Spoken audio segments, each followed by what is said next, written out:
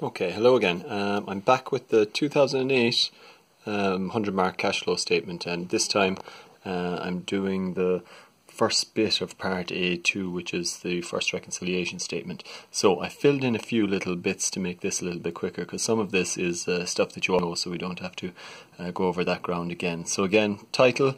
Um, reconciliation of operating profit to net cash flow from operating activities, and the operating profit is uh, just the operating profit you take from that profit and loss extract that you created in the first part of the question. Okay.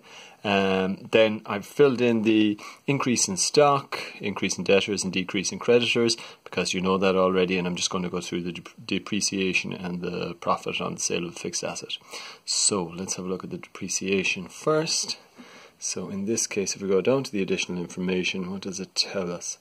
It tells us that in part 2 fixed assets which cost 60,000 and on which a total depreciation of 30,000 had been provided were sold for 40,000 so from that if we're concentrating on the depreciation side of it um, it says you got rid of an asset which we had already uh, provided for 30,000 worth of depreciation on, or we had devalued by 30,000. So that means when we do, got rid of it during the year, we must have taken 30,000 depreciation from our um, well, from our ledger depreciation account and ultimately from what goes into the um, balance sheet. So if we look at the depreciation figures uh, from 2006 and 2007, we see that it went from 100,000 up to 100 or 220,000 rather. So that looks like an increase of 120,000. Uh, but we already know that there was 30,000 worth of depreciation removed. So, in actual fact, if we account for that 30,000 that was removed, we know that there was an increase of 150,000. That's the 120 here plus the 30,000. So, if you like, uh, there was depreciation of 150, which made the 100,000 in 2006 go up to 250 but then because we removed or disposed of that asset, it went from 250 back down to 220. It went down by 30,000. So over here, we'll put in that depreciation 150,000, and as always, we're adding it. Okay, and then there's just the profit on the sale of the fixed asset. And if we have a look over here, what does it say? When it focuses, Ah, there we go. Fixed assets which cost 60,000 and which total depreciation of 30,000 had been provided, which means if they cost 60 and we depreciated them by 30,000 on our books, then the net book value in our books was 60 minus 30, which is 30,000.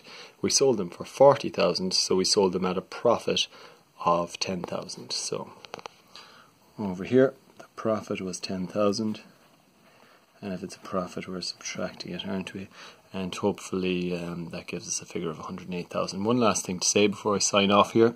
Um, that's about as much as you get in the first reconciliation statement in the 60 mark questions we were doing, but you'll see some other um, items cropping up now in the first reconciliation statement of the 100 mark questions. Uh, some of them will be like, for instance, oh yes, if there was an increase or a decrease in the provision for bad debts that would um, affect this first reconciliation statement. And if it was an increase in the provision for bad debts, you know that in the um, trading profit and loss, that goes down as a minus, as an expense, if you like. It reduces the profit. And so, just like depreciation here, you would um, add it on. So, add an increase in um, provision for depreciation, and the opposite then, if there was a decrease in the provision for depreciation, goes into the trading profit and loss as a gain, which increases profit, so we would subtract it here in this reconciliation statement. Um, same goes for if you're writing off goodwill, okay, we treat it like an expense, so if you've written off some goodwill during the year, it reduces profit, but we add it on uh, in this reconciliation statement. Um, let me think if there's anything else off the top of my head. Well, we won't, probably won't see this in the leaving cert ones, but there, um, if there's an increase or decrease in expenses due, we'll we'll come to that in later questions, and we'll talk about it then.